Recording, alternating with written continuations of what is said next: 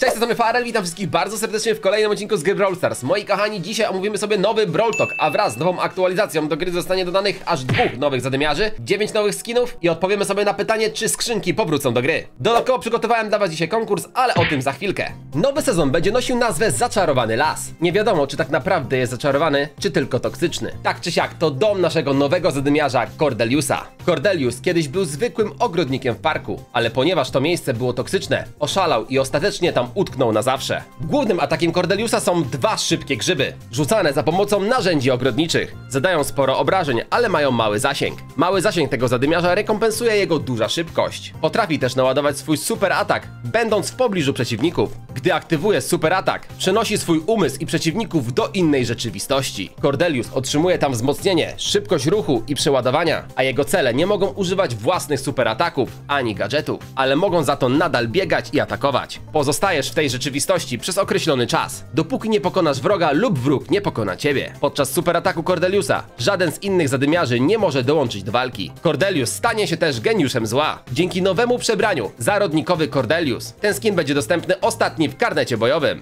Wraz z zaczarowanym lasem do gry też przychodzą zaczarowane przebrania. Ośmiobitowiec staje się teraz domkiem wiedźmy, jako nawiedzony ośmiobitowiec. Swoją drogą, nie znosi dowcipów o pukaniu do drzwi. To przebranie będzie dostępne wraz z karnetem zadymiarskim, więc będzie można je kupić za błyskotki. Kamienny troll Lu. Jest to prześliczny i przeszczęśliwy Lu w przebraniu kamiennego trolla. Będzie on możliwy do zdobycia po ukończeniu Ligi Mocy. Chester staje się super przerażającym myślącym drzewem dzięki przebraniu Leśny Duch Chester.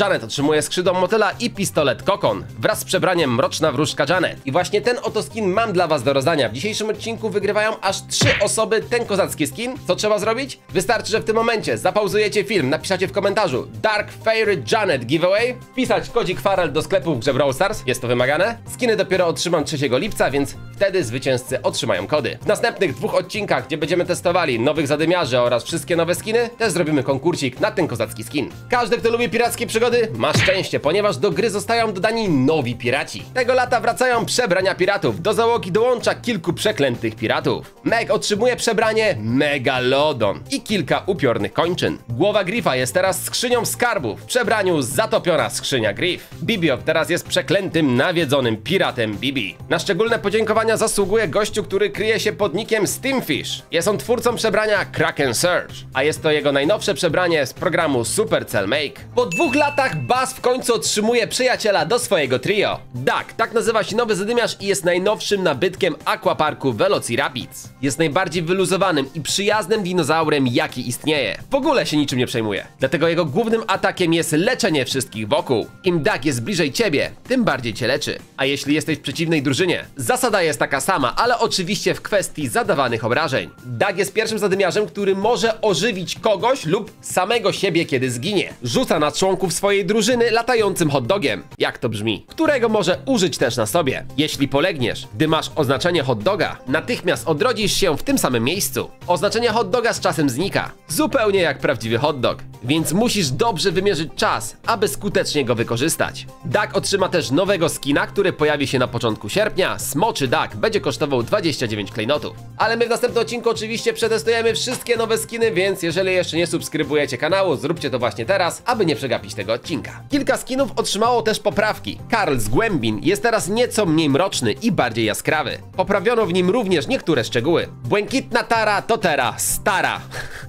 Jak to brzmi po polsku? Czym grasz? Starą. Twoją. Przemytniczka Penny też ma poprawki pasujące do jej nowego wizerunku oraz otrzymała nową animację. W końcu Supercell wysłuchał prośby od graczy.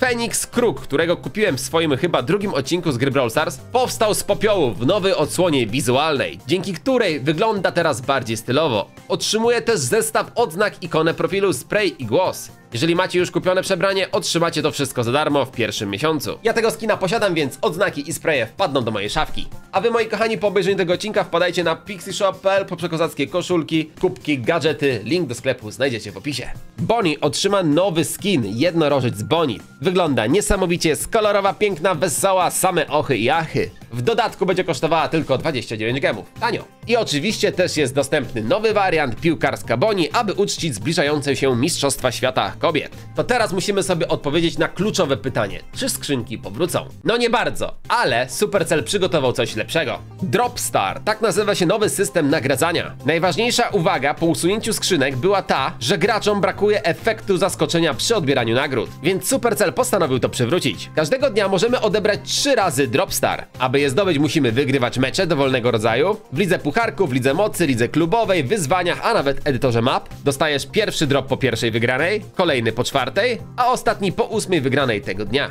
Dropstar ma też 5 różnych rzadkości, podobnie jak zadymiarze. Rzadki, bardzo rzadki, epicki, mityczny i legendarny. Za każdym razem, gdy dotykasz ekranu, masz szansę zwiększyć rzadkość Dropstara. Im wyższa rzadkość, tym lepszy przedmiot. W Dropstar możemy otrzymywać monety, punkty mocy, kredyty, błyskotki, zadymiarzy, odznaki, spreje, zdjęcia profilowe, a nawet skiny. I to jest ciekawostka. Skiny do zdobycia w Dropstar to te, które można kupić za błyskotki i nie są sezonowe. Natomiast przebrania mityczne i legendarne są nadal dostępne tylko w zaklejnoty. I teraz nasuwa się pytanie, co było lepsze, skrzynki czy Dropstary? Supercell obliczył i okazuje się, że Dropstary są o 20% lepsze niż skrzynki. Do gry powracają oczywiście stare tryby, powraca tryb ładunek z pewnymi zmianami, można teraz przechodzić i atakować przez wózek. Do gry powracają też takie tryby jak eliminacja i batalia. Od teraz można też robić postępy w misjach premium karnetu zadymiarskiego. Na sam koniec Paula z ciężkim sercem ogłasza nam, że to jest jej ostatni Brawl Talk. Od teraz Paula będzie pomagała przy rozwijaniu nowej gry od Supercella Squadbusters, a tutaj macie kilka słów od Pauli. It's with a heavy heart that I announce this will be my last Brawl Talk. Oh no, not again. It's okay, trust me. You've probably noticed I've been helping Squadbusters recently, and the time has come for me to fully support this new game and step back from Brawl Stars before I can provide the most beautiful community with all the time and attention you deserve. Believe me, it's not easy to leave after all you've done for me from the very first moment we met.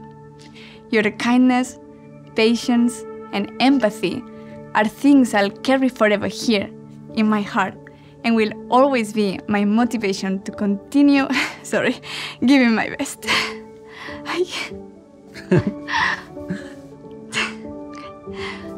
Okay. I believe that pursuing the goal of launching Squadbusters to the world is the right thing to do. And if we fail, I've been told there will always be a place for me in the Brawl team. But please don't be sad if I don't come back. My absence will only mean that we, Supercell, did it and managed to release a new game that many people will play for years and remember forever. Gracias from the bottom of my heart for all the moments we shared over the last two years. And see you in Squadbusters. Uh, Before you say anything, no, I'm not leaving you alone with Frank. uh, did you bring me some backup? I did.